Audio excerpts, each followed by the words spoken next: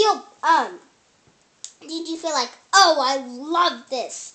Or like, "Oh, it's okay." Or like, "Oh, this this massage was boring." How did you feel? Um, I loved it.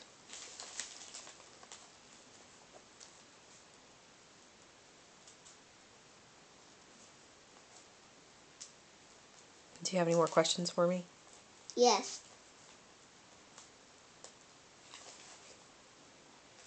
And it is exactly what would it be? I loved it. All right, I need a different pen. So, um, don't, you can still look at me. Don't stop it. I just need a different pen, and we'll be moving on to this question. Five pen.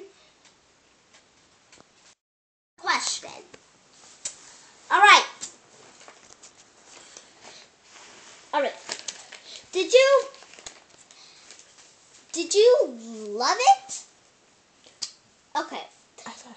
Did you did you feel something? Did you feel something Um, I felt um, with the massage? uh, my leg was very um, relaxed. Relaxed. Okay.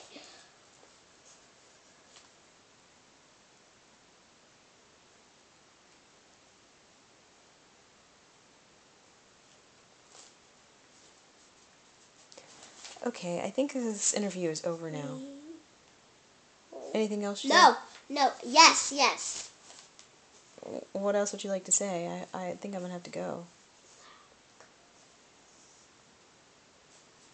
Relax.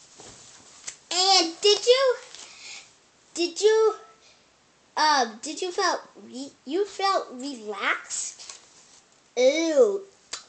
You know what relax means? Like sitting down, you're sitting down, you're laying on the beach. You're you're doing other things. And I love it means that it's grand. It's grand. And if you want to see what tells you about what tells you about the thing. I love it. Does this love tell you what the thing what the thing is about? It just tells you that uh, someone loved something, but it doesn't actually say what the it is. So love would be The most important thing, love.